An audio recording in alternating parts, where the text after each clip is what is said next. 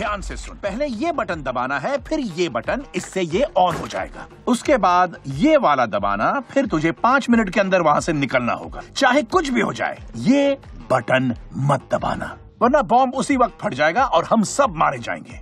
अब बता मैंने तुझे क्या क्या समझाया? नहीं! ये वाला बटन दबा के सबकी जान लेगा क्या? फिर से कोशिश कर। अरे यार अभी तो बोला ये वाला नहीं दिमाग में दीमक है क्या? वहाँ नीचे जाकर तुझे कौन सा बटन दबाना है मुझे बता भी। नहीं!